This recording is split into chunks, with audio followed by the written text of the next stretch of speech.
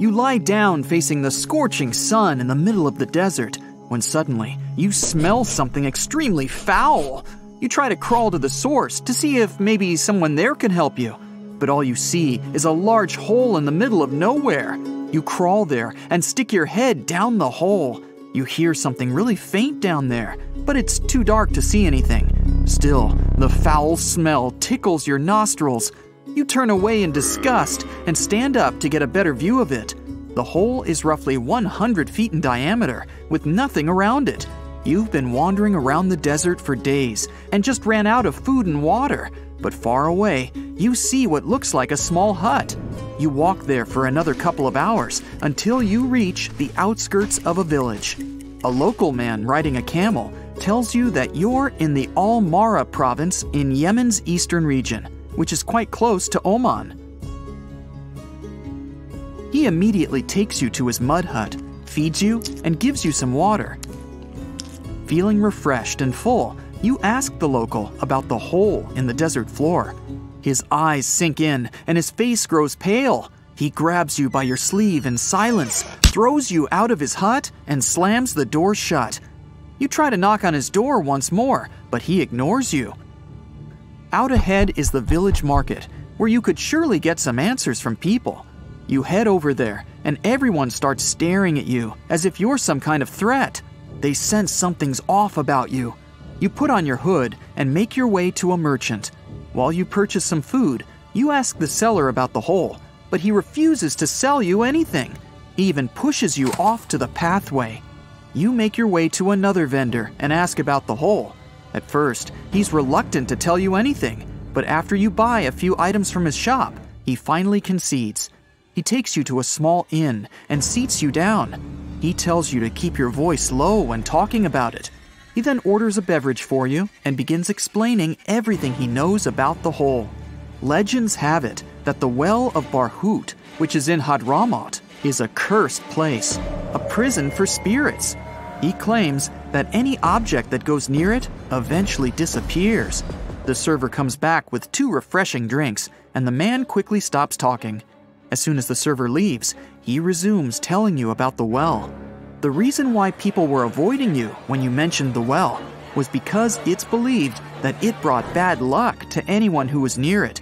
They were even able to feel it through you. The man tells you that he doesn't believe in such superstitions, but you want to find out more. At night, you head back to the well to find out if what he said was true. You sit down next to it and concentrate all your senses. It's quiet, nothing but the desert wind brushing against the sand. You hear something that sounds like a whisper coming from the hole, as if calling you to go inside. You get up from your meditation and walk towards the hole.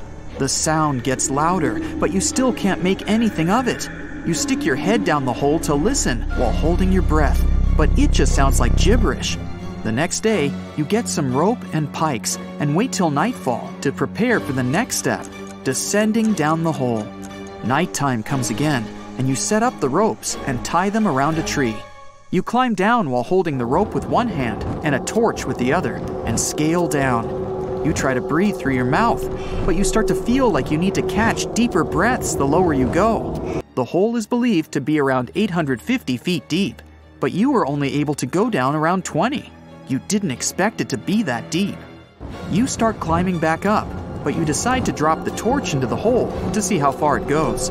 You see the flame getting smaller and smaller as it disappears into the darkness. Maybe the man was right, just village folklore about something they can't explain. Scientists claim that the hole is millions of years old and has practically no ventilation. Even though it's been around for such a long time, it remains as mysterious today as it's always been. You're walking in Siberia, looking out for some reindeer, when suddenly you hear a loud explosion from the distance. All of your reindeer scatter around, and you're too much in a frenzy to collect them. You run to the source of the blast and find a huge crater in an area you just passed through. In August 2020, a massive hole was discovered in Siberia, Russia, being around 100 feet deep and around 65 feet wide. The local residents and researchers were stunned to find it there. This is the ninth hole documented in the region since 2013. You call the local authorities, and a huge team of scientists arrive with weird looking scientific equipment. They claim this crater is the biggest one they've seen so far.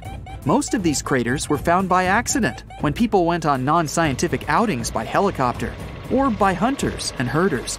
Scientists aren't able to wrap their heads around it, but they knew exactly where to start.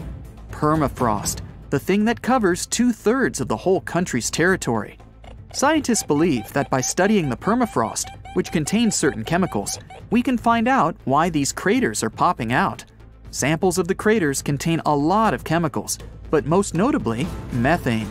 Scientists took plenty of samples of the frozen soil from the ground and the ice. They had to descend down the crater to collect most of them. And within two years, these craters end up turning into lakes. According to their studies, the gases, which are mainly made up of methane, accumulate in the upper layers of the permafrost, and they can come both from the deep layers of the earth and those close to the surface. These gases end up getting trapped in the frost as they accumulate, creating enough pressure to burst through the frozen ground. They claim that these giant holes are a result of the growing temperatures, but that's just one theory. They're still not really sure how they could have formed. But because most of these craters form in remote areas of the Arctic and take years to shape, no one really talks about them. You're fast asleep in the city of Fukuoka, Japan. At around 5 a.m., you hear a loud explosion and feel the ground shake. Japan is prone to earthquakes and tsunamis, so you're prepared for the worst. But the ground isn't rumbling and the building isn't shaking anymore. You check the power, and nothing. The whole apartment and neighborhood is completely dark. You look far out from the balcony and see a huge hole in the middle of a five lane road. You leave the building and join the crowd gathering outside. The hole is about 65 feet deep, and it swallowed everything around it. The traffic lights, sidewalks, and a bus stop are all gone. Even parts of buildings are destroyed, leaving the support beams still standing. The whole subway system is totally dysfunctional, and about 800 households are experiencing blackouts. Even the airport and subway had a bit of it. The local authorities evacuate the entire area in case more sinkholes or gas explosions occur.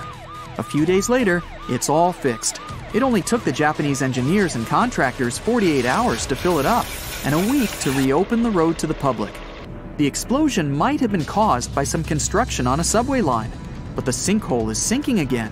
People noticed that the road seemed to decline by about 3 inches in heavy traffic. But with quick maintenance, Japan can fix anything in the fastest way possible.